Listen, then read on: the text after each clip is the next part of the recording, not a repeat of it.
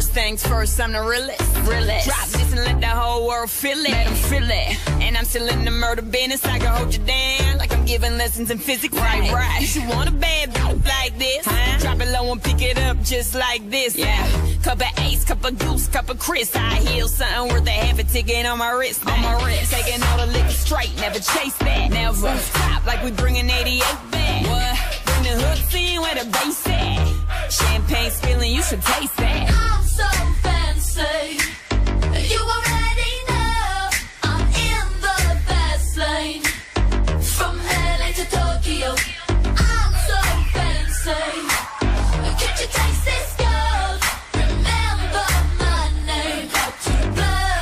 Blow. Got Miss Chanté Moore on the line.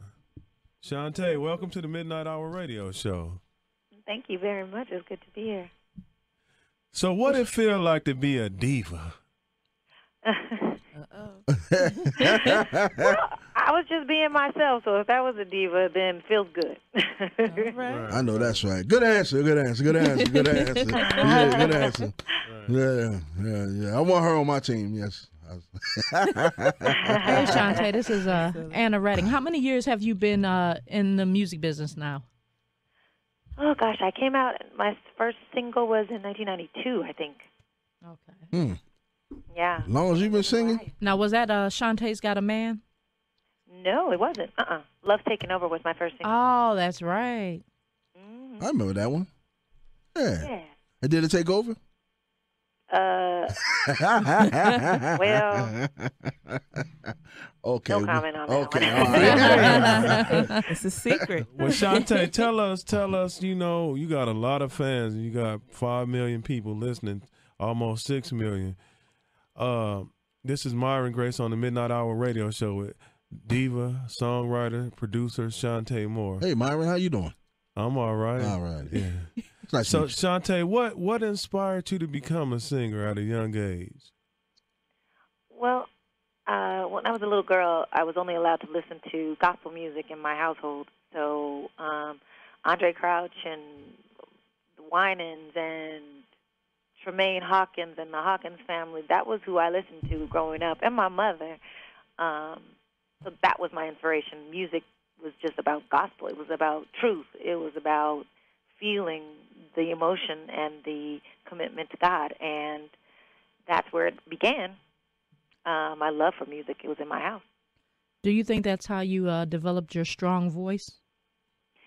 Well, you know, to be honest, my family did not particularly think that I was the singer of the family. My my Wow. family's very musical. So my sister, Latan, is my older sister, and she was the one who led songs, and my mother.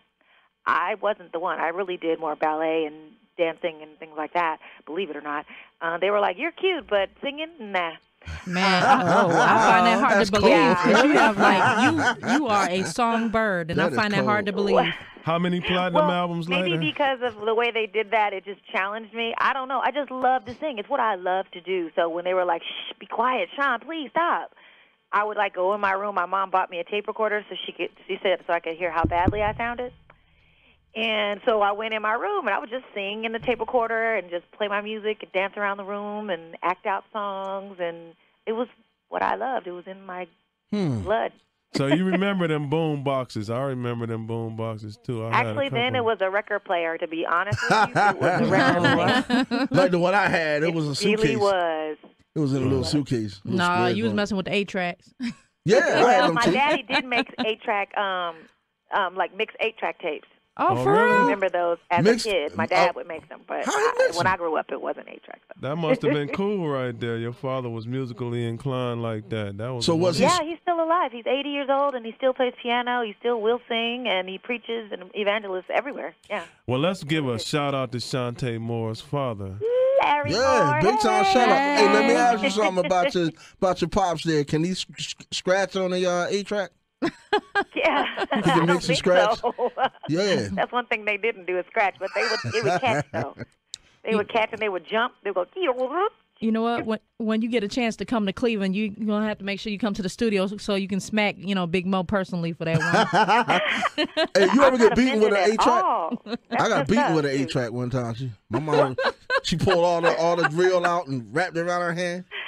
Oh God. No, I'm just kidding, huh? But it's just good to hear that you can do that. So when you compete, you you compete against yourself or against like what your mother said that you could not do when you're singing. You know what? I I just try to do my best. I really don't. um I just try to sing from my soul. That's what I really want. Is I want people to hear and to feel what it is I feel in the song. I want to display that so that you get connected to what I'm connected to when I wrote the song. That's what I really try to do more than anything. Is just convince you of this moment, this feeling, this thought is where and who I am.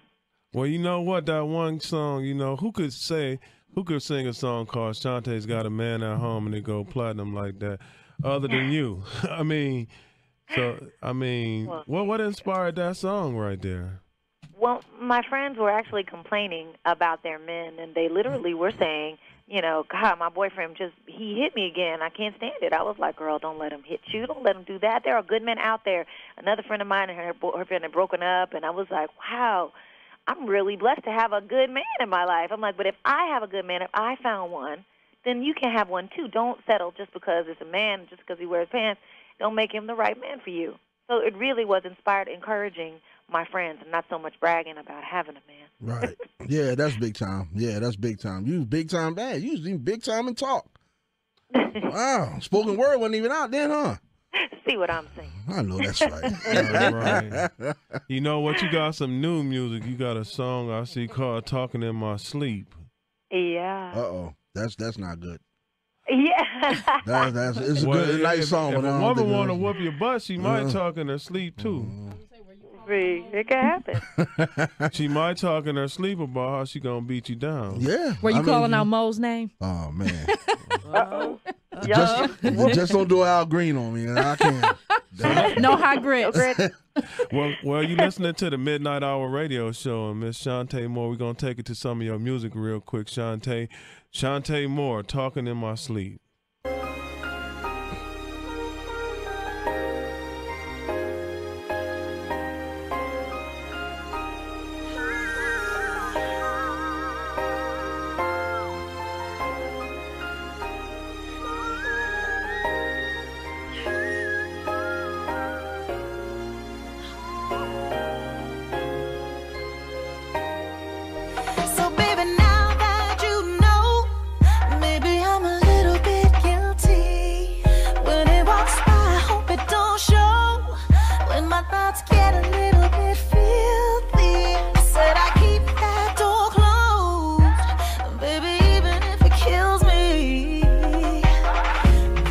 It don't matter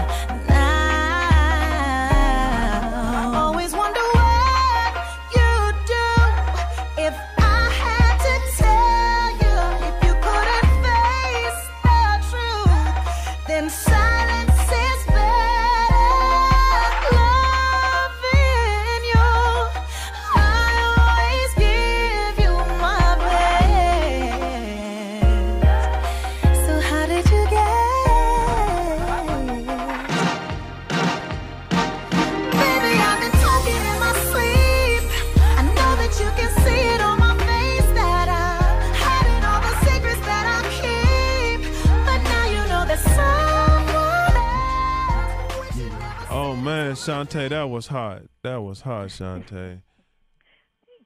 I see you still got it, huh? Oh, she Well, more than got it. Keep what I, hopefully, it gets better and better. It ain't supposed to get bad. And you want to keep it.